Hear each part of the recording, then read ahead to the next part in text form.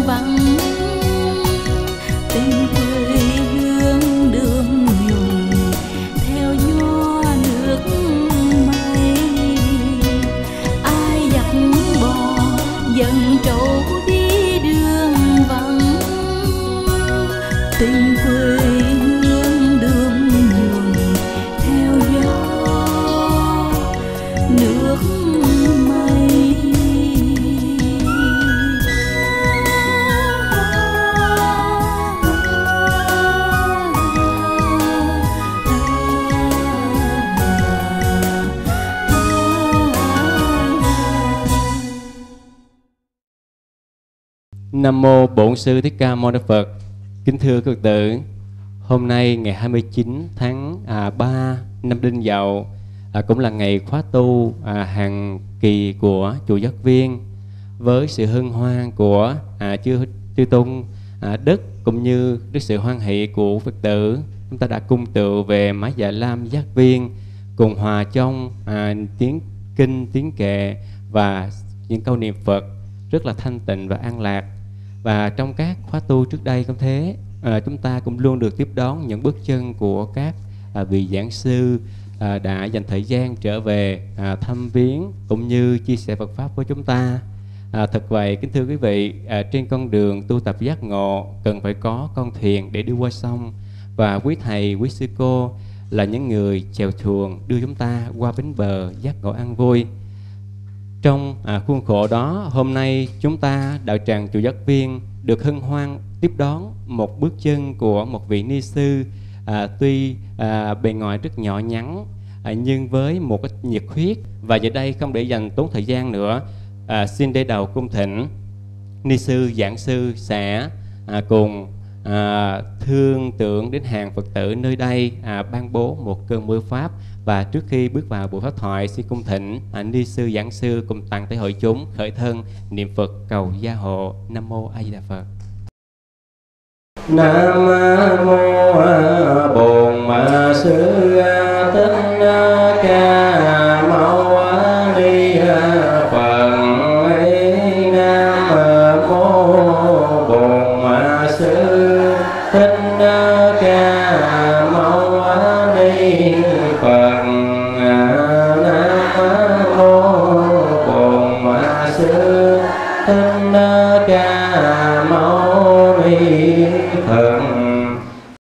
Nam mô Bổn sư Thích Ca Mâu Ni Phật.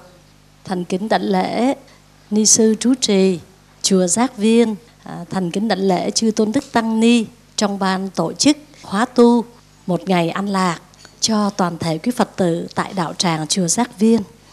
À, sư cô Hương Nhũ rất là được hân hạnh hôm nay được về cái ngôi chùa Giác Viên ở vùng Bạc Liêu. Nói chung là cũng xa xôi so với thành phố Hồ Chí Minh và cũng rất là cảm ơn những lời giới thiệu vô cùng là trang trọng của Đại Đức à, Trúc Trí dành cho Sư Hương Nhũ. Và giờ phút này à, chúng ta sẽ có một ít thời gian quý giá dành cho nhau. Thì à, cũng mong toàn thể quý Phật tử chúng ta tránh niệm tỉnh giác trong thời Pháp thoại sáng hôm nay. Nam Mô A Di Đà Phật. Quý Phật tử thân mến, à, trong cái chương trình mà đi về giảng pháp tại Bạc Liêu thì à, có rất là nhiều người Phật tử nói sư ơi sao cũng vào cái ngày 29 này à, chùa con mời sư à, ngay cái thành phố Hồ Chí Minh thì sư lại không nhận lời mà cuối cùng là ngày 29 này sư lại về tút ở dưới Bạc Liêu vậy. Sư nói rằng đâu phải dễ mà được về những vùng xa bởi vì những vùng xa những vùng sâu mà nơi đó có những ngôi chùa để che chở hồn dân tộc mà nơi đó lại có một đạo tràng với những tà áo lam hiền được về tu tập trong chánh pháp là một niềm hạnh phúc vô biên đó. cho quý sư, quý thầy và cho cuộc đời này, cho tất cả quý phật tử cho nên, nếu được đến những đạo tràng vùng sâu, vùng xa như đạo tràng giác viên, để được gặp các đạo hữu đang ngồi đây trong một cái không khí trang nghiêm và tràn ngập hạnh phúc, được nghe chánh pháp thì sư hương nhũ cũng phải nói với các vị rằng sư cũng vô cùng xúc động. Từ lúc đặt chân xuống sân bay đã quý phật tử đã đón sư từ cái phi trường cà mau. Đó, và cho đến giờ phút này đã được cùng hội ngộ với quý phật tử nơi đây. Quý phật tử thân mến chính những vùng sâu vùng xa như thế này để gợi cho chúng ta đều nhớ về quê hương của mỗi một con người. Ai có ở chốn thành phố nhà cao cửa rộng thậm chí là mình ở những vùng gì? Ở nước ngoài, ở mỹ, anh, pháp, ở nhật bản, châu âu, châu úc. Thì quay trở về lại nơi chôn nhau cắt rốn của ông bà, của cha mẹ cũng là những vùng quê hương rất đơn sơ mà mát dịu. Như là câu thơ của Đỗ Trung Quân, phải không nào? Quê hương là chùm khế ngọt vậy. Cho nên, trên con đường về Bạc Liêu, mặc dù bây giờ đường xá đã quá tốt so với ngày xưa nhưng hai bên vẫn còn là đồng lúa, những còn những cây màu xanh để chúng ta còn tự hào về quê hương đất nước thân yêu của mình. Có nhiều người, nhất là các bạn trẻ, nuôi một cái ước mơ để khi lớn lên mình được tung bay ở một cái phương trời cao rộng nào đó. Đó, ví dụ được đi mỹ chẳng hạn. Nhưng các vị có biết không? Ngay ở những cái cái xứ sở mà gọi là văn minh và hiện đại như vậy nhưng khi con người ta quay trở lại với chính mình, thì giếng nước, bờ ao hay là bờ tre, ruộng lúa vẫn làm cho con người ta xúc động sâu xa. Sư nhớ có một lần, một cái gia đình đó đưa cha mẹ, anh em đoàn tụ ở nước ngoài. Trong đó có bà nội là bảy mươi mấy tuổi rồi. Bà nội không có chịu đi, mà bây giờ là con cái, rồi cháu chắc gì đi hết trơn thành ra bà nội buộc lòng phải ra đi. Khi có được visa, mua được vé máy bay, thì cả nhà quá sức vui mừng. Không có ai để ý cái dòng nước mắt của bà nội. Phải rời bỏ quê hương. Ai cũng tưởng bà nội mừng hết, tại vì thấy bà nội cứ cười và lẩm bẩm cái gì ở trong miệng. Thì con cháu nói nội kỳ này nha, nội đã nha nội nha, nội đi máy bay nha nội qua xứ mỹ nha. Rồi bây giờ là nội phải sống gì? Trong một cái điều kiện mà từ nhỏ tới lớn là nội nội chưa từng biết đâu nội. Cái nội mỉm cười, nội cảm ơn. Rồi khi mà cả gia đình chuẩn bị hành lý đó, thì bà nội đi ra, rồi đi vào, sờ cái cột, rồi sửa lại cái dây bầu, rồi bứt mấy đọt mồng tơi. Bà nội biết rằng đi sang cái xứ văn minh kia, nó sẽ có rất nhiều thứ. Nhưng cái gì của quê hương nó gần gũi và chân tình thì chưa chắc nào có được ở bên xứ đó đâu. Cho nên nội rất buồn. Mà cái buồn đó nội không cho con cháu biết, bởi vì là con cháu đã quá sức vui rồi. Thế rồi, từ ngày đi lên máy bay cho đến khi định cư ở trời tây, thì lúc nào cũng thấy nội thâm trầm. Trong khi các con, các cháu thì là hòa mình vào trong nhịp sống, hướng tới tương lai thì nội lúc nào cũng im lặng. Đó. Nội sẽ nhớ những đêm trăng sáng rồi nhớ tiếng chuông của ngôi chùa. Trao ơi là nhớ lắm Nhưng mà nội không bao giờ bày tỏ ra. Lúc nào cũng thấy Trên tay mẹ bà nội đó Có một cái gói gì đó. Mà nội cứ là mân mê Cái gói đó. Thì à, đứa con trai, con dâu Con cháu nghĩ rằng là Nội đang cầm một cái món nữ trang Một cái cái ờ, cái cà rá, cái nhẫn gì đó Hay cái viên ngọc quý gì của nội đó Kỷ niệm đó. Cho nên cũng tôn trọng cái kỷ niệm của bà nội thì không có nói gì hết. Tại vì lúc nào cũng thấy nội cầm giờ ăn cơm thì nội bỏ vào túi.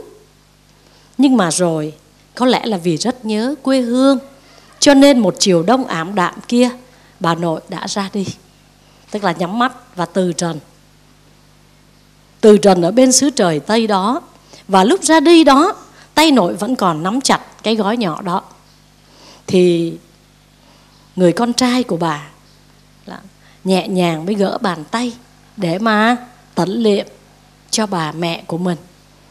Và tin chắc rằng trong gói đó có một cái vật gì quý giá. Nhưng mà các vị biết không, rất là xúc động khi gỡ cái cái gói giấy trong tay bà nội ra đó là một cục đất màu nâu của quê hương. Cục đất của miền quê Việt Nam yêu dấu, thưa các vị.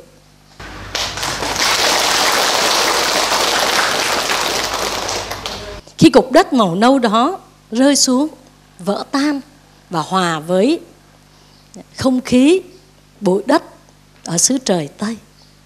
Nhưng mà cho chúng ta biết rằng, dù đi đâu về đâu thì cái gì nó gắn bó với quê hương, với đất nước vẫn cao quý vô cùng. Cho nên có những con người mà cứ được cái dịp trở về quê hương, đi làm ăn xa mà được dịp trở về việt nam, trở về quê hương, thì họ hạnh phúc lắm.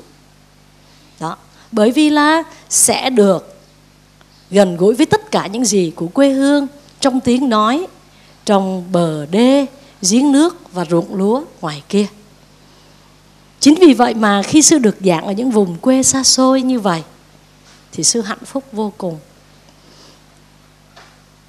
sư nghĩ rằng, dù là quê hương, ông bà, tổ tiên của sư ở hà nội là thường tín, rồi là phú xuyên, là những cái vùng ngoại ô của Hà Nội, cũng có gắn bó với lại là ruộng lúa bờ ao.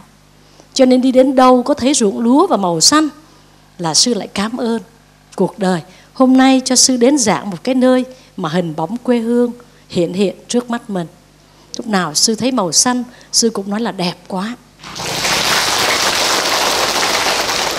cho nên có nhiều người là vì hoàn cảnh phải ra đi nhưng có nhiều người đi đâu thì đâu rồi cũng trở về nơi chôn nhau cắt rốn nơi chùm khế ngọt gắn bó thân thiết từ thuở ấu thơ chính những cái vùng xa xôi như vậy thì nơi đó những tâm hồn chân chất thì đó lại là rất gần với chân tâm Phật tánh các vị ạ.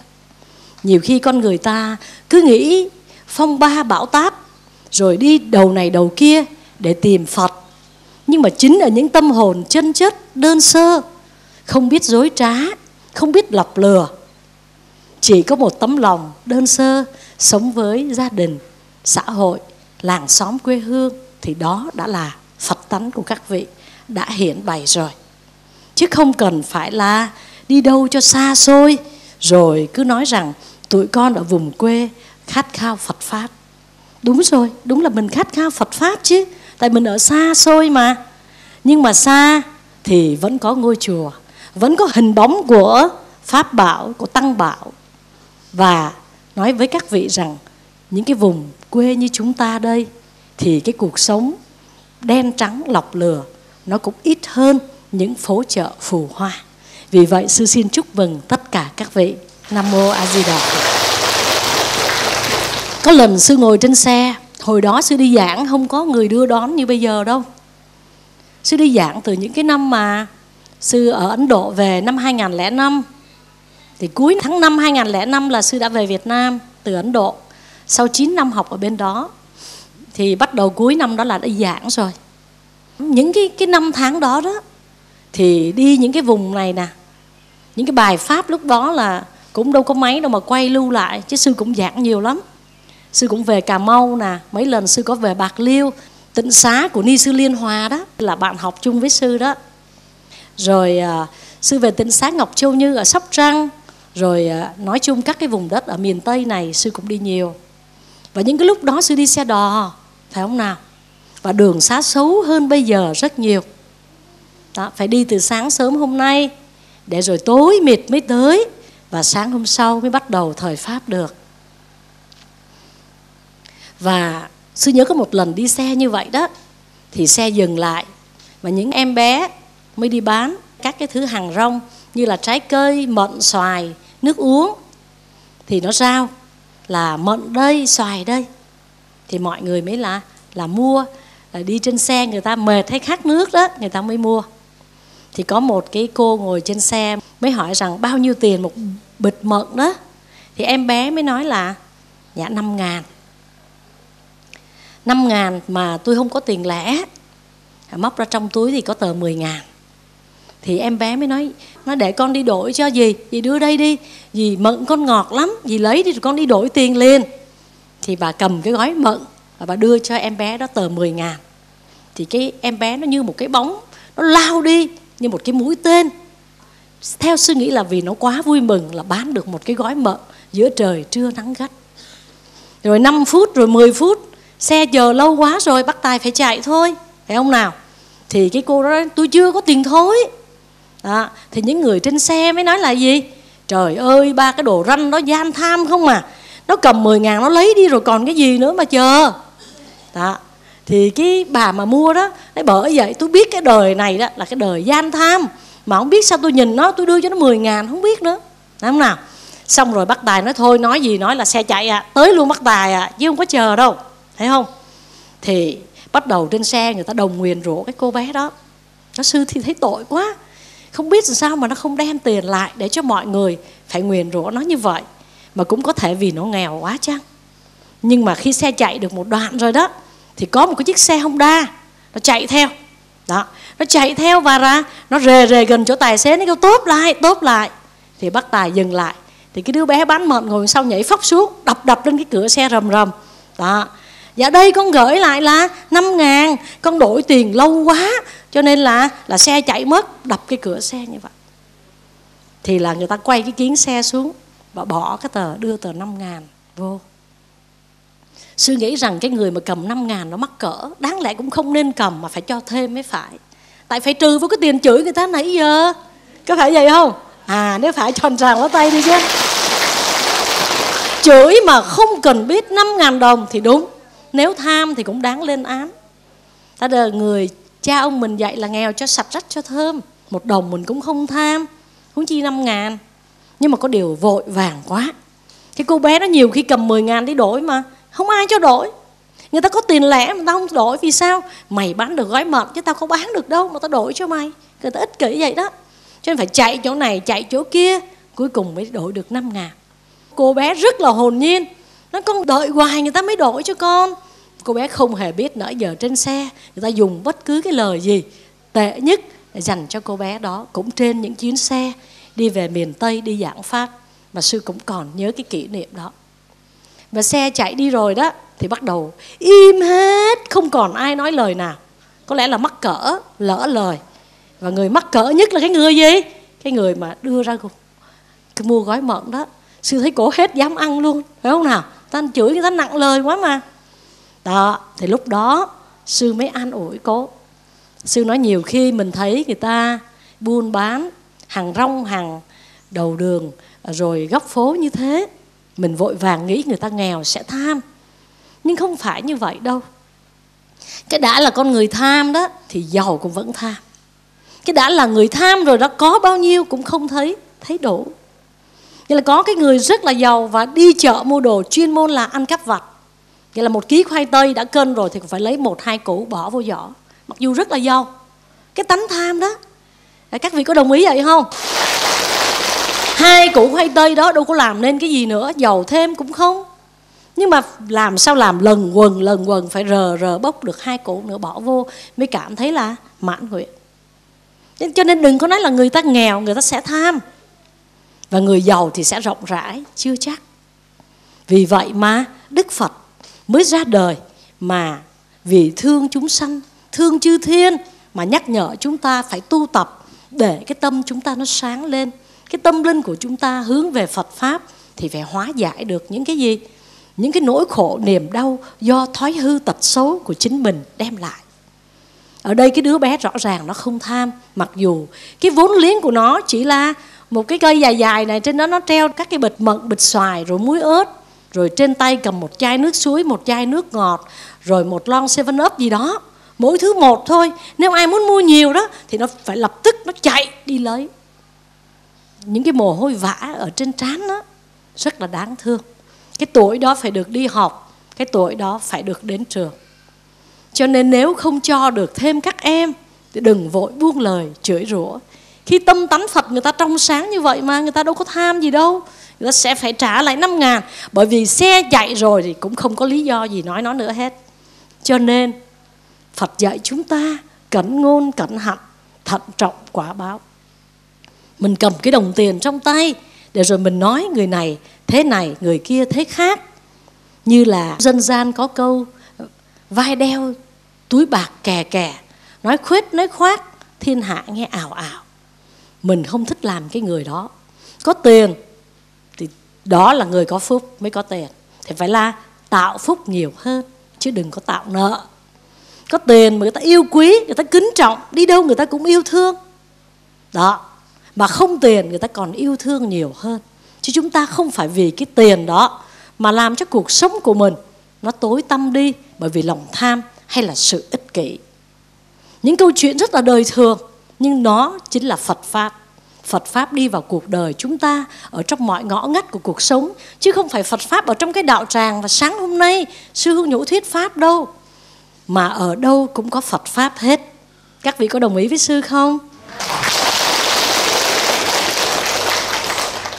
Cho nên vì vậy mà tấm lòng nhân từ của quý thầy, quý sư đã lập ra đạo tràng rồi. Đó, lại còn là gì? Là tạo các duyên cho các hàng phật tử được nghe phật pháp. Cho nên rất là hạnh phúc. Và nếu chúng ta muốn hạnh phúc, thì chúng ta cũng phải truy tầm cái nguyên nhân như thế nào để được hạnh phúc. Chứ nếu không, mình cứ nghĩ cuộc đời này mình có nhiều, mình sẽ hạnh phúc. Mình xin người ta cho, không đủ xin nữa. Xin hoài mình muốn lấy hết túi tiền của người ta qua bên mình mình mới cảm thấy thỏa mãn, lòng tham. Cứ ngỡ rằng mình có tất cả sẽ hạnh phúc. Giống như ngày xưa mình còn nhỏ, mình đọc cái câu chuyện là ăn khế trả vàng vậy đó. Đến khi mà cha mẹ chết rồi mà ông anh chiếm hết trơn hết trọi. Lấy hết. Cái gì á, giống cái anh lấy hết, giống đực thì cho em hết. Thì vì các vị coi coi. Cái nhà, cái bàn, cái ghế, cái nồi, cái bao gạo, cái ruộng, cái vườn, cái gì cũng có chữ cái hết, anh lấy hết. Còn giống đực không có gì hết trơn trọi. Thì cho em. Các vị thấy ghê gớm không? Thì cuối cùng các vị biết đứa em nó lấy cái gì không? Cái rửa, đực rửa. Cái rửa là giống đực đực rửa, cho nên cuối cùng nó thấy cái rửa này là ăn không có rớt á. Thì cái đực rửa đó thì thôi, giờ anh nói là mình đã dạ rồi, cho nên không có cãi nhau nữa. Mình đã đồng ý rồi, cho nên anh nói cái anh lấy hết đực em lấy là dạ một tiếng rồi. Rồi xách cái rửa đi không có một lời. Mình kể ra cái người này cũng quá sức siêu phàm rồi. Thử mà mình chịu không? À nãy tôi chưa nghe kịp đực cái là sao chứ, chia kiểu này là đổ máu à phải chơi à.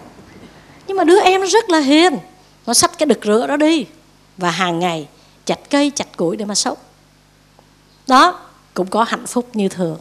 Còn người anh có tất cả để xem đó là hạnh phúc. Thì cái lòng tham đó, mình nghe thì mình mắc cười, mình chê người anh tham, nhưng mình chiếu lại cái đời sống của mình. Nếu mà được chia của kiểu đó, mình cũng chịu nữa cái tao lấy hết được mày lấy. Tại vì cái lòng tham mình không kiểm soát được mình đâu. Cho nên nghe pháp nè, niệm phật nè, tu tập để kiểm soát xem mình tham hay là mình không tham. Các vị nghe rõ chưa? À. sư cô nè, với thầy trúc trí nói ở đây các vị thích nghe pháp lắm. Mà thích rồi để làm gì? Suy tư rồi thực hành. Chứ nghe để rồi khen hay hay là không hay, để làm gì? Tại vì bài pháp này không phải chỉ có chúng ta, mà còn nhiều phật tử ở vùng xa khác cũng phải được nghe. Hoàng pháp mà. Cho nên không có ai suy nghĩ tính toán gì hết miễn làm sao phật pháp đến với chúng ta. Mà đến rồi đó, thì mình phải suy xét lại cái tâm mình mình tu ra sao để mình có an lạc, hạnh phúc, thật sự trong chánh pháp. Thế rồi người anh có tất cả, thì hưởng thụ cái hạnh phúc đó và thằng em mình quả là quá ngu. Mà cứ cho là ngu đi, nhưng mà đứa em nó tâm hoàn toàn trong sáng. Nó chỉ nghĩ rằng, sao mình nghĩ không ra ha? Sao mình không nghĩ giống cái là cái gì cũng cái đó? Mà mình, đáng lẽ mình phải nói, cái gì cái là chia đôi, cái gì đực là chia đôi. Nhưng mà sau khi anh đề nghị, cái của anh, đực của em là mình ừ liền. Cho nên mình phải chấp nhận. Nhưng mà chính vì cái sự lương thiện đó phải chưa nào? Mà một ngày kia mới được những con khỉ nó đem tới cái cây khế.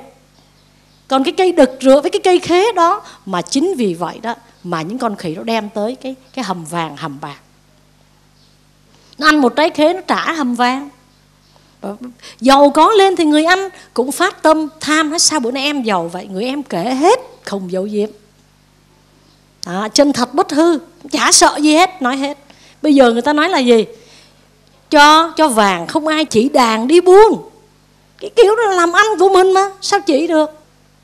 Nhưng mà cái đứa em này nó nói hết cho anh biết là vì sao nó giàu. Và người anh ấy lập tức, thôi, bây giờ anh cho em hết á, đưa cho anh cái cây rửa với cây cây cây khế được rồi. Tham nó lập tức chịu đổi liền, thấy không? Đó. Rồi thì sao? Rồi cũng được bầy khỉ đó, nó ăn trái khế, nó trả ngàn vàng cho. Nhưng mà đem cái túi ba gang để mà đựng. Nhưng mà may bao bố để mà đựng vàng. Thấy chưa? Cho nên là nặng quá mà rớt xuống biển mà chết. Mang cái bao bố đựng vàng cho rớt xuống biển chết. Vì vậy tham thì thâm đó. Mà mình mà không kiểm soát đó, mình đọc truyện mình nói hay nhưng mà mình sẽ tham. Mà cái tham này là không chỉ là tiền của như câu câu chuyện ăn khế trả vàng đâu các vị mà cái tham này nó biểu hiện trong mọi khía cạnh của đời sống. Ví dụ như mình đi tu tập, có nhiều người phiền não là tại sao tôi không được ngồi ở trên? Đó ví dụ như vậy nghe sẽ nói những chuyện nhỏ thôi. Tôi là thọ bồ tát giới rồi nè, mà sao tôi ngồi ở dưới? Phải không nào? Thì đó cũng là tham. Tham sao nữa? Lấy vợ, lấy chồng. Mà người vợ lo lắng chu tất cho mình.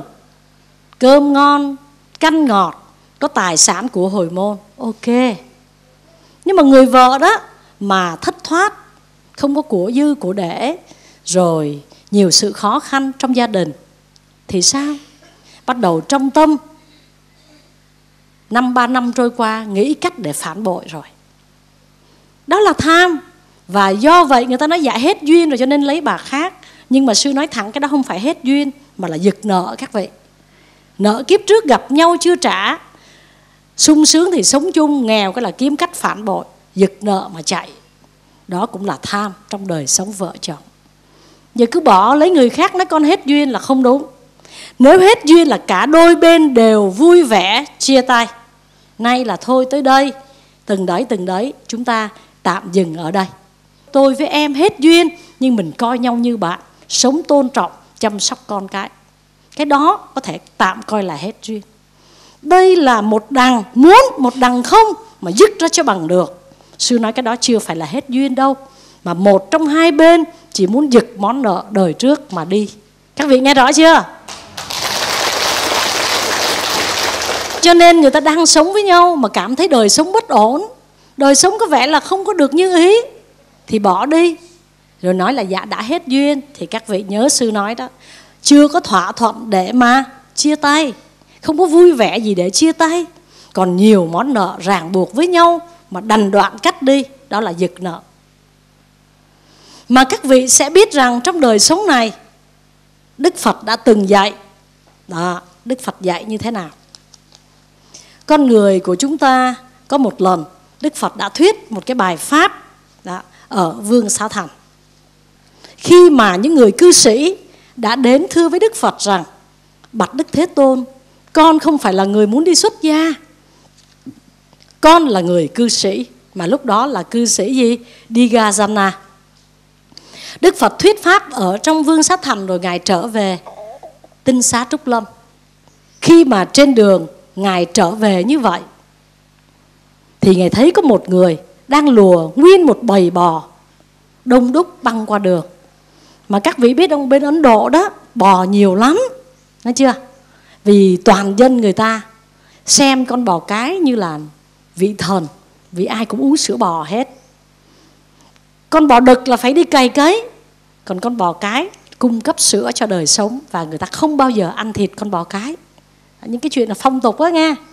Bò đực là cày, cấy, nhưng mà họ cũng không ăn thịt. Họ sử dụng con bò đực để cày ruộng còn con bò cái để lấy sữa. Nhưng mà họ xem con bò cái như một vị thần. Bởi vì thần mới là ban sự sống cho họ. Thì những cái câu chuyện trong cuộc đời đức phật rất là nhiều câu chuyện liên quan tới những đàn bò. Thì cái khi đức phật trở về trúc lâm tinh xá thì gặp một người lua một đàn bò cả ngàn con băng qua đường. Thì mình phải đứng lại chờ rồi các vị thấy không? Một ngàn con lận.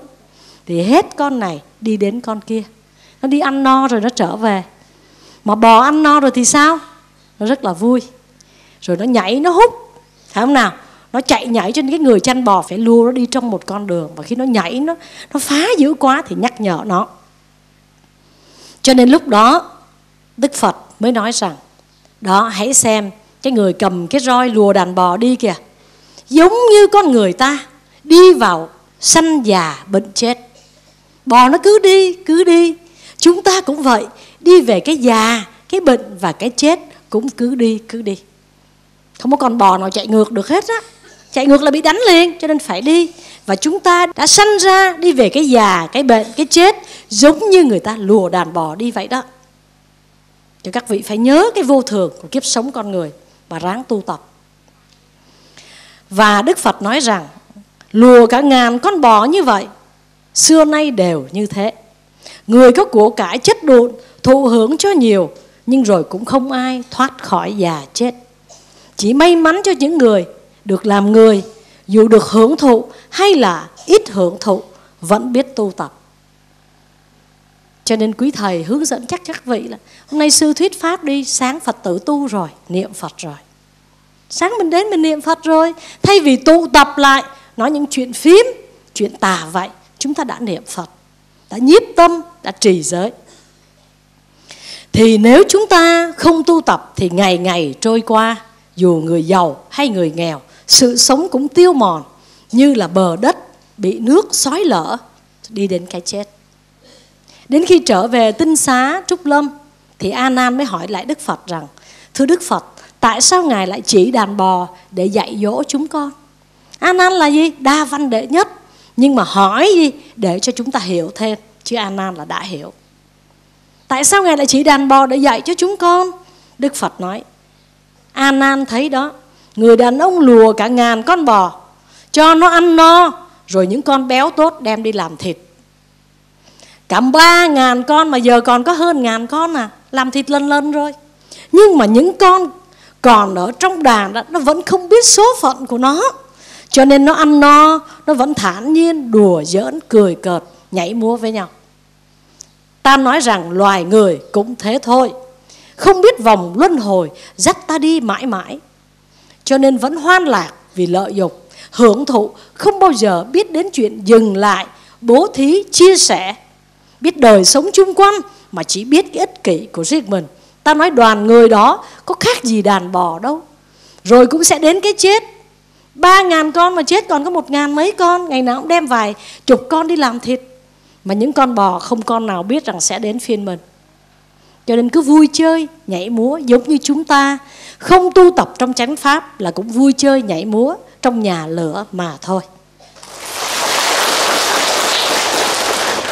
Cứ như vậy, hoan lạc trong lợi dục hoan lạc trong tà pháp, làm các việc ác như sát sinh, hại vật, như trộm cắp tà dâm, dối trá, rượu chè cơ bạc, ích kỷ, bất hiếu, sống gấp, sống vội, phá thai.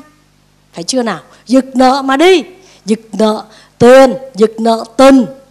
Mà bây giờ đời, bây giờ tình tiền gì người ta cũng giật hết. Chứ nghe giật nợ các vị nó là chỉ giật tiền thôi. Nhưng cả tình và tiền đều giật để bỏ chạy. Và đó là sự báo hiệu của địa ngục, của ngạ quỷ và súc sanh nghe pháp là phải nghe cho rõ như thế đó. Các vị đồng ý không ạ? Khi đức phật nói như vậy xong, rất nhiều tỳ kheo và phật tử đều tỉnh ngộ. Chỉ một lời dạy của phật thôi là nhiều người tỉnh ngộ lên có vị đắc quả la hán liền. Còn mình nghe là nghe để đó. Lòng tham đã chất chồng, lòng sân đã quá dày đặc và sự si mê đã biến chúng ta thành con người vô minh, u tối cho nên sư mà lâu lâu đi đến vùng xa đó hả? Sư nói bằng cả trái tim của mình. Thật như thế. Cho nên đó, thầy á, mà trúc trí nói là sư được tình cảm của rất đông đảo phật tử. Không phải là vì sư giảng hay đâu, mà vì sư nói bằng cả trái tim của mình. Mình đừng có sống giống như đức phật chỉ, con người ta tham dục cũng giống như đàn bò kia. Đi đến cái chết mà không biết, vẫn nhảy và vẫn múa cho nên lâu lâu được gặp nhau, sư nói bằng trái tim của mình, mặc dù thời gian của chúng ta rất là ít. Hãy nghe lãnh hội, chuyển hóa tâm mình và tu tập. Như vậy, đừng có tạo ra nợ. Mình đang sống như vậy nhưng mà vì tham. Mình mượn người ta tiền mình muốn giật, mà giật từ một số tiền nhỏ đến giật những cái số tiền lớn. Mà như các bà, các cô ngồi ở đây đều không lạ gì cái chuyện là giật nợ, giật thuê giật hội, giật làm ăn. Nó có thể đưa ra bất cứ một cái công ty ma quái nào để hùn vốn vô, rồi chia lợi nhuận trong vài tháng, rồi xong biến mất. Cái người mà giật cái số tiền lớn mà chạy đi, tưởng rằng hạnh phúc sao? Đó là địa ngục. Họ địa ngục trong lương tâm, họ địa ngục chờ đến ngày ngày phán xét cuối cùng để chết không sung sướng gì người giật nợ. Còn người phụ bạc về tình cảm, về tình yêu, về vợ chồng, phụ bạc, tưởng rằng hạnh phúc sao? Họ cũng ngồi trên đống lửa mà thôi. Bởi lòng khát ái, cho nên họ phủ nhận những cái món duyên nợ.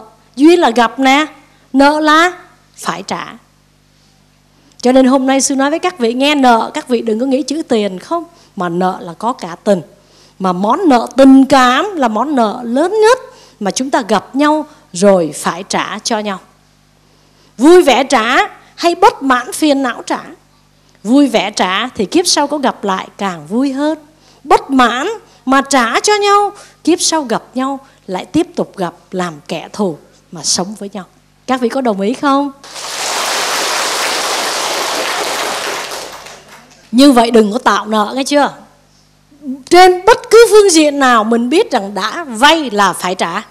Ví dụ sư nói, sư nay xuống giảng rồi, sư sẽ xuống nữa. À sư nói sư nhớ đó. Chứ mà rồi sư nói rồi là sư biến đi luôn đó. Rồi cũng có lúc phải gặp lại sư à. Sư đừng có giật cái món nợ đó, dù chỉ là một lời nói.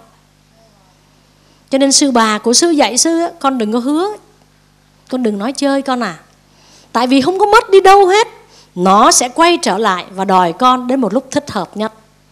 Mà lúc thích hợp nhất lại là cái lúc mà mình quần ống cao, ống thấp, sớn sơ, sớn xác, lấy đâu mà trả nợ. Cho nên đừng tạo, đừng vay, cho dù một câu nói. Cho nên cái bài pháp này là sư nói, cái bài pháp mang tên đừng có giật nợ. Mọi thứ đều tạo ra món nợ. Cho nên đừng có tạo rồi giật tốt nhất là tri túc thường lạc, biết đủ là vui và biết cẩn ngôn, cẩn hạnh, thận trọng quả báo để mà sống. Hãy tạo ra phúc. Chịu thiệt là phúc, giúp người là phúc, bố thí là phúc, cúng dường là phúc, nhẫn nhục là phúc, khiêm tốn là phúc, hy sinh là phúc, chịu khó là phúc. Tại sao không làm?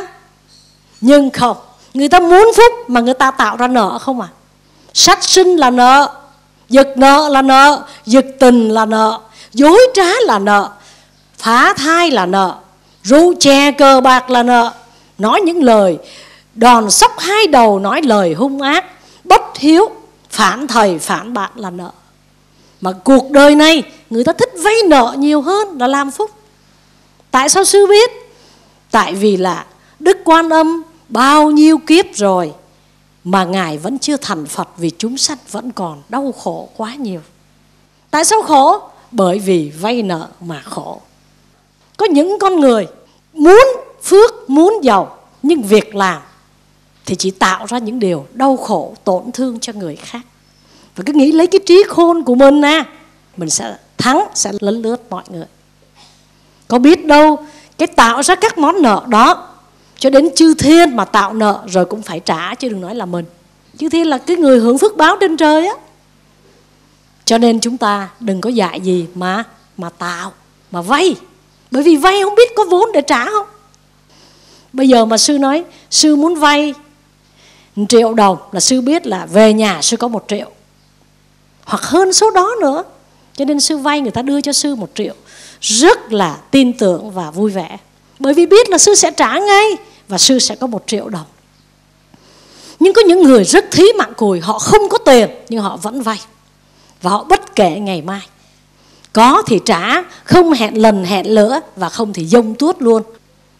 Nhưng mà cái món nợ đó sẽ đòi chúng ta ở địa ngục, ở cõi ngạ quỷ, ở cõi súc sanh hay là kiếp sau gặp lại để làm tôi đòi, tôi tớ mà trả nợ cho nhau cho nên không phải nghe nợ là chỉ là tiền, mà mọi thứ đều vay nợ cho đến một câu nói trong cuộc đời. Có một cách mà mình không có vay nợ, ít nhất là trong câu nói. Đó, hồi sáng thầy nhắc đó, niệm phật. Niệm phật để cầu gia bị, niệm phật để tiêu tội, niệm phật để tăng phúc đức. Ủa, tôi niệm Phật thì có ai đem tiền tới cho tôi đâu mà niệm Phật để tăng phúc? Có người nói vậy đó. Tôi mắn mông chôm chỉ tôi ra tiền chứ ngồi niệm Phật có ai cho đâu. Có người đã nói câu đó. Nhưng khi chúng ta niệm nè, Cái miệng này không có tạo nghiệp, xấu ác về khẩu nghiệp. Không chửi rủa, Không thề thốt, Không đòn sóc, Không thô ác. Mà Nam Mô A Di Đà Phật, Đó là Phật tâm, là Phật tánh, Là chân tâm thường trụ. Cho nên nó tự tạo phước. Các vị cứ nghĩ là cái đồng tiền ở trước mắt mới là phước nhưng có khi đó là tội, có khi đó là máu, có khi đó là địa ngục. Cho nên cái người biết tu rồi đó đó hãy nhớ sư nói. Quê hương ăn nước mặn đồng chua, làng tôi nghèo, đất cày lên sỏi đá. Tôi với ăn hai người xa lạ, từ phương trời chẳng hề quen nhau. Vậy mà gặp nhau lại thương nhau. Người thì ở đồng quê sỏi đá, người thì là nước mặn đồng chua mà gặp lại thương nhau là bởi vì sao? Là tình quê hương, tình chân thật. Tình việt nam mà yêu thương nhau. Chứ không phải vì trong túi anh có tiền mà tôi thương. Nếu trong túi anh có tiền mà tôi thương, thì mai hết tiền. Hết cơm, hết gạo, hết ông tôi. Các vị nhớ đó, còn bạc, còn tiền, còn đệ tử, hết cơm, hết gạo, hết ông tôi, thì quá bạc bẽo lừa đảo trong cuộc đời. Thớt có tâm tao rồi đổ đến, gan không mật mỡ, kiến bò chi. Thớt có tâm thì rồi mới đến, gan có mật, có mỡ, có máu thì ruồi mới bu. Mình là con người có trí tuệ, mình không phải cái loại người thấy người ta có tiền, mình mới bu đến. Mình đến với nhau bằng tình tình yêu thương, hiểu biết, chia sẻ cho nhau. Phật pháp là như vậy đó. Sư nói chư thiên mà không biết tạo phước, chư thiên cũng tội. Chạy đằng trời cũng lọt.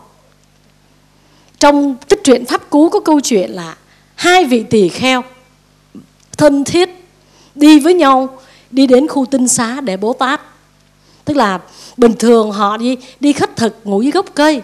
Đến ngày trăng tròn, ngày trưởng tịnh đó là đi về khu tinh xá để bố tát tụng giới. Họ quý nhau lắm, họ thân thiết, yêu thương nhau trong tình đạo. Bởi vì ai cũng là quyết tâm tu với cái lý tưởng giải thoát của mình. Ở trên trời có một chư thiên nhìn xuống, thấy hai vị tăng đi với nhau, kính trọng, quý mến nhau như vậy. Thì cái vị chư thiên này nói, ta sẽ có cách làm cái còn quý mến nhau không cho biết. Lập tức là cái vị chư thiên đó biến thành một cô con gái xinh đẹp. Thì đợi lúc hai cái vị tăng đang đi với nhau một lúc đường xa thì cũng có lúc là phải giải lao. Cho nên một vị nói đứng lại dưới gốc cây chờ tôi tôi đi vào trong cái cánh rừng tôi đi vệ sinh chút xíu rồi mình cùng đi tiếp. Thì cái khi mà cái vị bạn đi vào trong cánh rừng thì chư thiên lập tức hóa thành người con gái đứng ở ngay cái, cái bìa rừng đó. Thì cái người bạn đứng chờ lâu quá mới nhìn ra cái chỗ bìa rừng xem cái bạn mình ở đâu thì thấy cái chư thiên mà hóa làm cái cô con gái giả đó thì đứng uốn éo giống như thể là đang mặc quần áo. Nghĩa là trước đó đang làm một cái chuyện gì, tà vậy với huynh đệ của mình.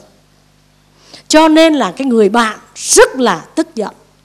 Trời ơi, nói với mình, đi công chuyện chút xíu, mà quay ra là có cái chuyện gì vậy phạm giới xảy ra ở đây rồi. Sư nói vậy các vị nghe hiểu không? Nhưng mà không phải, cái chư thiên nó chọc ghẹo thôi nghĩa là tự động uốn éo giả bộ như vậy chứ còn hoàn toàn không có gì xảy ra hết. Để làm cho hai người này hiểu lầm nhau thôi. Cho nên khi cái vị tỳ kheo cái bước ra để cùng đi tiếp, thì người bạn mới nói, tôi không đi với anh nữa. Thầy là người phạm giới mà đi với tôi cái gì? Tôi giờ đến chỗ bố tát trang nghiêm, thầy mới làm cái chuyện gì ở bên bìa rừng? Mà cái người bạn kia hoàn toàn không có thấy, chỉ có cái người này thấy thôi. Còn cái người bạn đi vào trong cánh rừng á không có thấy cái cô cô con gái đó. Nó biến ra, cho người bạn thấy thôi mà. Đó, thì người bạn mới nói, thầy đừng có nói láo với tôi. Tôi thấy rõ ràng. Cái chuyện gì xảy ra tôi đã thấy. Thì xong thầy kia nói, tôi không biết đã làm gì. Tôi chỉ xong việc riêng rồi tôi ra tôi đi với thầy, tôi đâu có làm gì đâu. Hai bên cãi nhau kịch liệt và quyết định là đường ai nấy đi. Thì cái vị chư thiên á, mới là hoảng sợ nãy mình ở trên trời hưởng phước báo. Mà nay mình chọc chơi. Mình chọc có hai ông thầy cãi lộn nhau như thế nào? Mà mình đã tạo cho người ta đường ai nấy đi như vậy, mình phải xuống để xin lỗi. Cho nên là mới là mang cái thân hình người con gái xinh đẹp đó mới tới nói, tôi là người thiếu nữ lúc nãy đây. Nhưng mà hoàn toàn là tôi giả vờ để chọc ghẹo thôi, chứ bạn của thầy không có hề phạm giới tôi chỉ giả vờ đứng ở bìa rừng, uốn éo như là có vấn đề gì xảy ra. Chứ thật ra, người bạn của thầy không hề thấy tôi. Nói xong rồi hai người này mới vỡ lẽ ra, thì mới làm hòa với nhau và tiếp tục đi về khu tinh xá để bố tát. Nhưng các vị biết không, sau cái chuyện đó thôi, chư thiên mặc dù có xuống xin lỗi, nhưng vẫn đọa địa ngục. Mình làm những cái chuyện bậy để cho người ta hiểu lầm nhau và tí xíu nữa là gì mình phá hòa hợp tăng rồi. Thì các vị cứ xét coi coi một ngày mình có nói những cái gì để chia rẽ không? Để chia rẽ hạnh phúc người ta, để chia rẽ tình bạn, hoặc là mình nói xấu các thầy, các sư không? Mà chư thiên mà còn đọa địa ngục, hết làm kiếp địa ngục rồi trở lên làm ông thầy, tỳ kheo, đi tu. Ông đi khất thực, người ta đều thấy ông có một người con gái đi sau lưng, mà người ta thấy ông không hề thấy. Cho nên không ai muốn cúng dường cho ông hết nói ông tỳ kheo ờ, ở Kondahana này đi đâu cũng có, phụ nữ đi sau lưng hết, cho nên không nên cúng dường cho ông. Thành ra kiếp trước là chư thiên chọc ghẹo phá hòa hợp tăng, mà kiếp này có đi tu, trả quả báo với địa ngục rồi, là một vị tỳ kheo lúc nào cũng có hình bóng một cô gái đi phất phơ ở phía sau, mà ông không thấy, người ta thấy. Cho nên người ta mới là chê bai phê bình, khiển trách, không cúng dường thì ông mới là hùng hổ, ông nói tôi có làm gì đâu. Các ông mới là người chia rẽ phá hòa hợp tăng với tôi có làm gì đâu. Nhưng mà thật ra người ta thấy, cuối cùng phải đem lên đức phật để mà tống cổ cái ông Kondan Hanan này ra khỏi tăng đoàn, vì đi đâu cũng có phụ nữ đi theo sau lưng. Thì Đức Phật mới nói không Kodahana hoàn toàn không có phụ nữ đi sau lưng. Hình bóng đó chỉ là quả báo ở trong một kiếp sống khi làm chư thiên đã từng làm những cái chuyện phá hòa hợp tăng. Cho nên kiếp này phải chịu cái quả báo oan uổng như thế. Oan mà không có oan. Các vị nghe chưa nào? Cho nên á, đời sống có cái gì mà bất hạnh oan ức buồn tối thì nó chà không biết kiếp trước mình làm cái gì ai đây? Mình có làm hết nay cái quả nó đến. Cho nên người thì buồn kẻ thì vui người hạnh phúc người thì đau khổ. Nó đó là quả báo mà chúng ta đã gieo trong đời sống này hoặc những kiếp sống trước. Vì vậy mới là nam mô cầu sám hối bồ tát mà chánh niệm tỉnh giác mà lo tu. Nhưng mà chúng ta tu thì ít. Thấy chưa nào? Lo trang điểm, sửa soạn thì nhiều. Cái miệng này nè, nói những lời ngọt ngào. Để làm gì? Để mua chuộc lòng người chứ không sống chân thật. Thì quả báo đó, hãy đợi đấy. Chúng ta sẽ trả trong một ngày không xa. Cái ông Kodahana tỳ kheo này, nếu không có Đức Phật thì cuộc đời ông đi khất thực, không ai dám cúng dường. Lúc nào tâm thấy có cô gái đi phất phơ phía sau. Đức Phật đó là quả báo hình bóng của kiếp sống trước. Cho nên ông mới được người ta giải cái nỗi oan, nhưng mà người ta cũng không thích nữa. Tại vì người thì bán tín, kẻ bán nghi. Cho nên ông tu rất là trầy trật, khổ đau. Thì có người đi tu một cách dễ dàng, có người đi tu trầy trật, khổ đau là quả báo hết. Cho nên đừng có tạo nợ nếu bị đời chê trách, đúng phải sám hối. Mà không đúng thì biết mình vụng đường tu cũng sám hối luôn. Tu là vậy đó, chịu thiệt đi. Chứ đừng có phân bua là tôi dậy tôi dậy rồi nói một chập là nói xấu người khác thôi. Mà càng nói về cái tôi nhiều bao nhiêu, thì cái khổ đau nó sẽ đến với chúng ta nhiều bấy nhiêu. Cho nên, có những người tạo nợ không trả, thì chúng ta sẽ phải trả món nợ đó mà phải là gì? Phải tăng lên. Nó nợ thì nó nó đẻ ra rất nợ. Nhưng chúng ta vay là phải trả trả lời cho ngân hàng. Chúng ta vay nợ là phải trả trả cái lời theo ngày tháng. Chứ không phải mình lấy một đồng mà người ta lấy lại mình một đồng đâu. Mình lấy của người một đồng, người ta lấy của mình là ngàn lần nhiều hơn. Bởi vì cái đồng đó nó đã đi theo nhiều kiếp sống. Nghe sư giảng pháp rồi hết than luôn hết trách cuộc đời luôn, hết mắng cha, trách mẹ luôn, mà chỉ quay lại tự thân mình. Ai mà đời sống được trọn vẹn, được thành công là phải nói người ta đã có tu rồi, người ta đã biết sống rồi.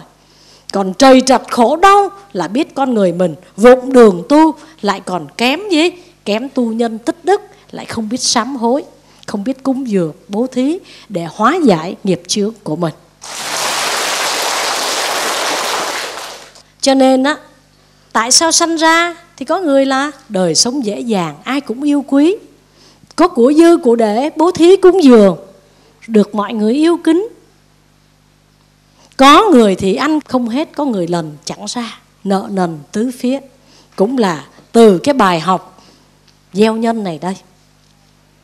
Cho nên, đức phật mới dạy một cái cái người cư sĩ. Họ nói với đức phật rằng, bạch đức thế tôn con chỉ là một cư sĩ. Đó. đi gazana.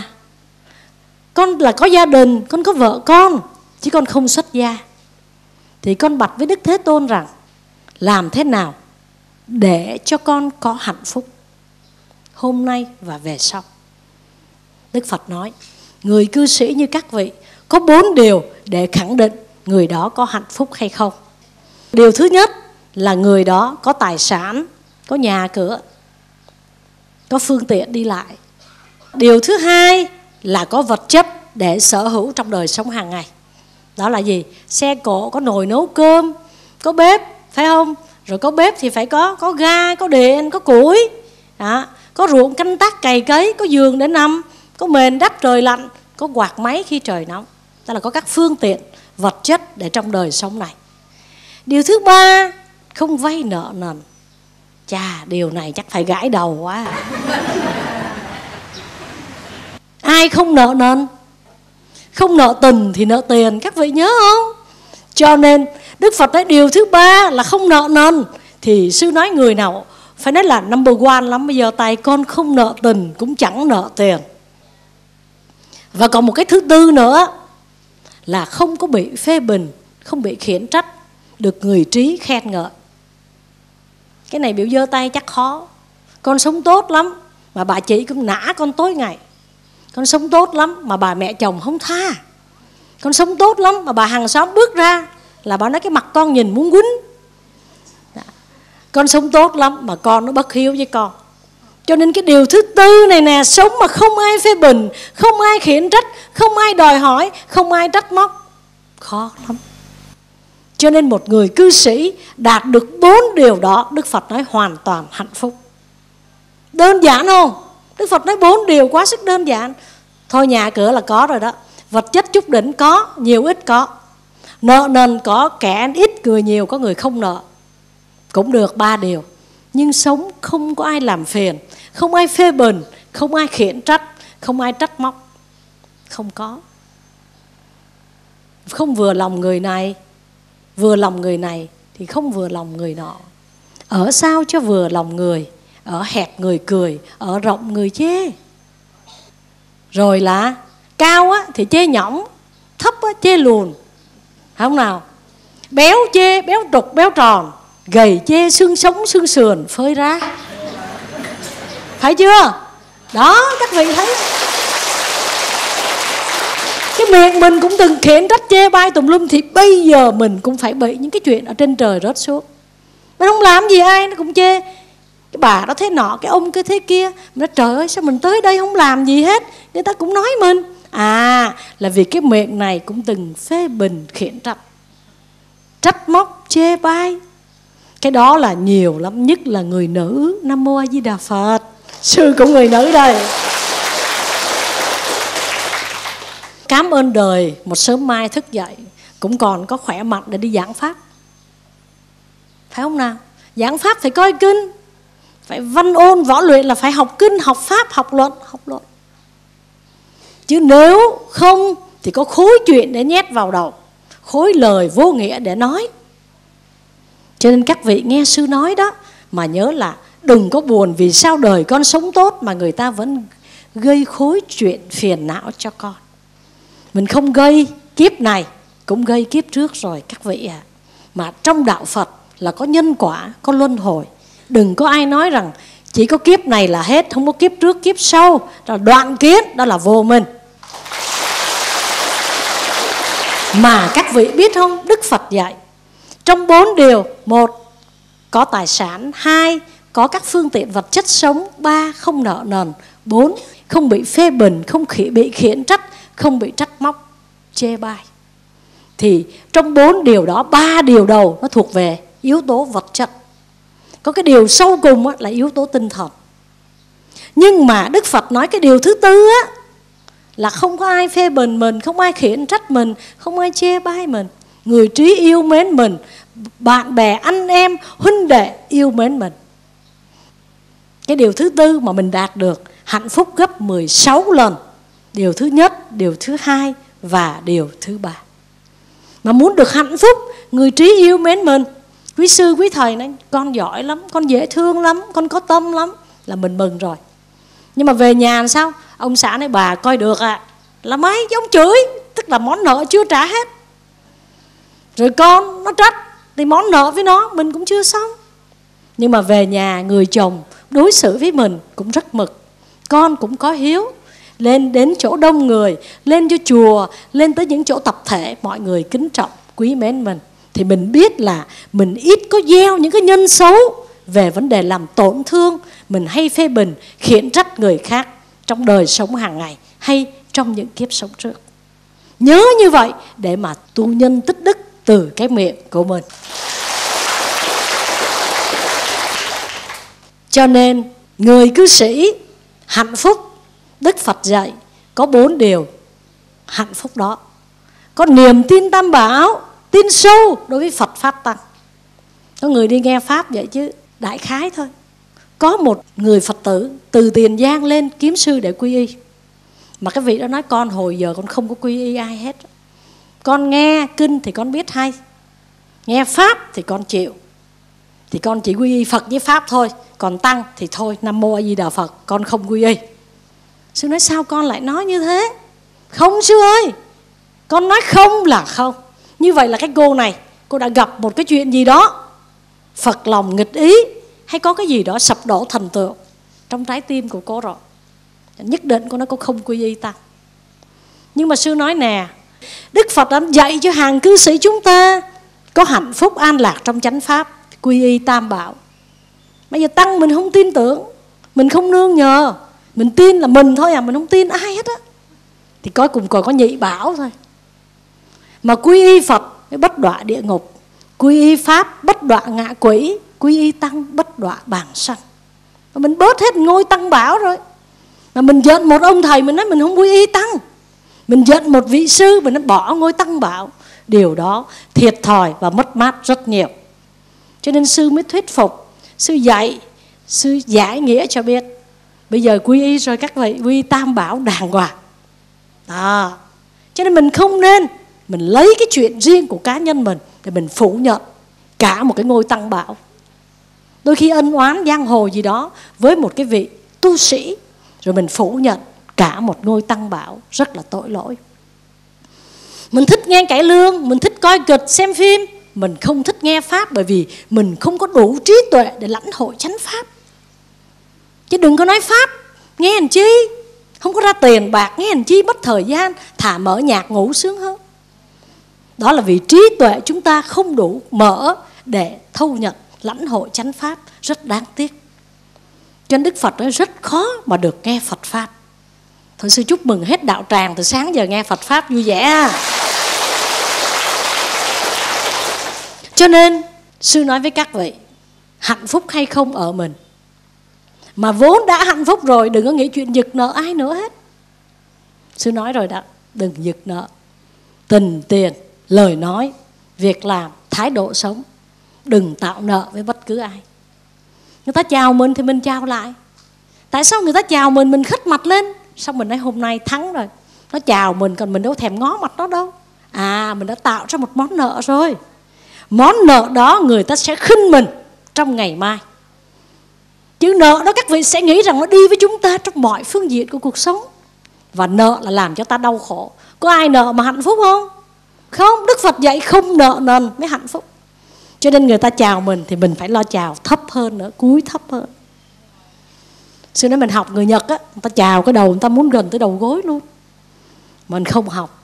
Mình học cái gì? Mình học người nhật á là ăn các con vật mà không cần nấu chín, ăn sống luôn mới ngon người hàn quốc rất thông minh. Mình không học học cái gì? Học ăn thịt chó của người hàn quốc. Mà các vị biết không? Cứ cách đây chưa tới 2 tháng, hai vợ chồng người Mỹ đã về Hàn Quốc và họ mua nguyên một cái chợ chó. Họ đem về Mỹ. Và người ta đã quay trên truyền hình. Những con chó được đặt vào những cái lồng. Có trải cái mền mỏng cho con chó đó từng lồng từng lồng như vậy và mua visa cho nó đem về Mỹ hết toàn bộ cái chợ chó của Hàn Quốc. Sư nói hai ông bà đó là Bồ Tát. Phóng sanh thật sự, cứu mạng sống, bởi vì người Hàn Quốc nuôi chó để ăn thịt rất là nhiều. Và hai vợ chồng người Mỹ đã đã mua nguyên một cái chợ chó đó để mà đem về Mỹ và chăm sóc nó trong một điều kiện chó là một trong những con vật được yêu thương, được chăm sóc như là những em bé và nguyên cái chợ chó được phóng sanh chúng ta nghe những câu chuyện đó, chúng ta cảm động quá. Thì mình phóng sanh, mấy con chim, muốn mấy con cá thôi mà mình nói phóng rồi đằng kia nó cũng bắt thôi khỏi. Ăn thôi cho nó khỏe. Cho nên đó là nợ. Và cái nợ của anh đó là gì? Là bệnh. Bệnh ung thư. Bệnh không chữa được là ăn quá nhiều, giết quá nhiều mà không có một lòng từ tâm. Cho nên chúng ta vay trong từng cái bữa ăn. Chúng ta vay trong từng lời nói chúng ta vay trong cuộc sống về tình, về tiền. Và chúng ta vay trong thái độ sống với nhau. Người ta chào mình không chào, mình hết mặt thế. Người ta nói lời tử tế, mình nói lời mai mẹ sư hồi nhỏ sư từng bị như vậy. Chỉ cần hỏi, sư nói ví dụ như thầy giáo đến chưa? Mà cái người bạn đó học giỏi lắm, sư ngưỡng mộ lắm. Nhưng mà thay vì nói là chưa đến, thì cái người bạn của sư đó, ai biết? Đi tới nhà ông hỏi là sư đã nghe bị tổn thương rồi. Mà không biết sao sư vẫn thích hỏi cái cô bạn đó vì cô học giỏi và cô dễ thương quá. Nhưng mà tại sao mình không kiếm người khác hỏi mình cứ thích hỏi cô vì mình ngưỡng mộ cô rồi cái mình cũng chưa chịu nữa, mình còn ráng nữa chứ. Bạn học bài xong chưa? Ai biết bắt gì phải trả lời. Tôi học xong kệ tôi chứ. Là mình cũng tổn thương. Đó, rồi các vị cứ xem coi, một câu ai mà biết thì chi bằng là có đến rồi, chưa đến, có làm sao đâu, có mất cái gì đâu, mà phải trả lời. Ai biết? Mà cái chữ biết nó dài, mà cái mắt nó liếc một cái. Ta là vay nợ trong thái độ sống có phải vậy không? Mà cái chữ ai mà biết là cái chữ miền tây mình, miền nam mình đó? Thì mai mốt đây mình hỏi đường mình nói, chú ơi, cái đường nào mà đi về chùa giác viên, bạc liêu? Mày đi về mày hỏi cha mày á. Mình sẽ được trả đũa đầy đủ. Mình vay là như vậy đó các vị. Nó sẽ trả trong kiếp này. Hoặc khi mình lớn tuổi, hoặc khi già, hoặc khi sắp chết, hoặc là kiếp sau. Đầy đủ.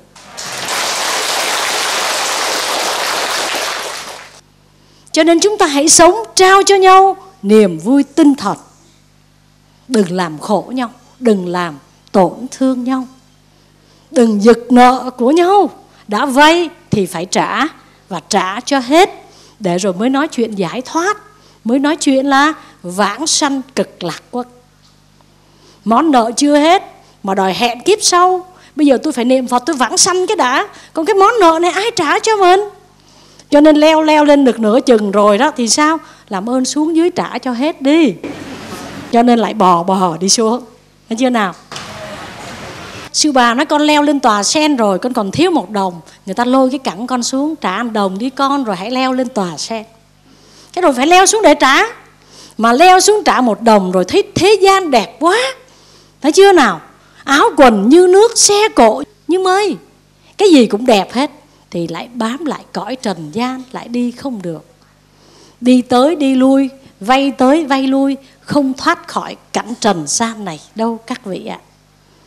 Cho nên, hôm nay bài pháp này, hãy nhớ cho sư ba từ thôi. Từ gì? Cho anh thằng pháo tay. Và pháp thoại của sư đến đây là kết thúc. Nam mô a di đà phật.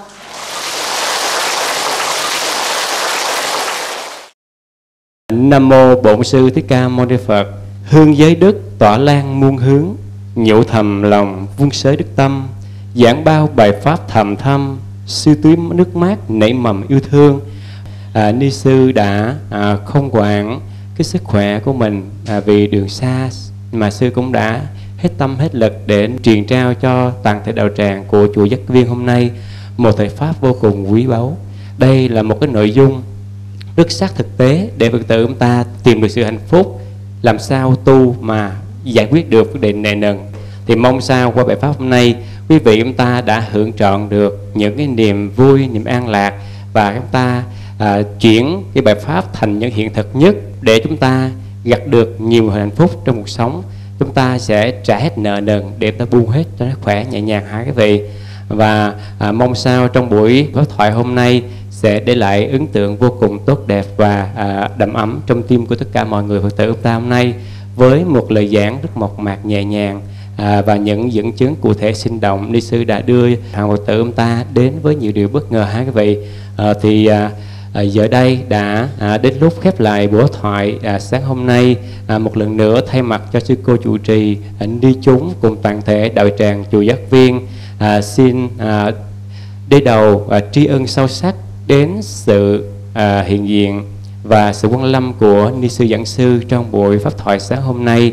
Và xin thay mặt à, ni chúng cùng phật tử xin nguyện mười phương chư phật đồng thị gia hộ cho ni sư pháp thể kinh an à, tứ sanh dị độ mãi là những người thầy khả kính dìu dắt phật tử trên lộ trình giải thoát. A di đà phật.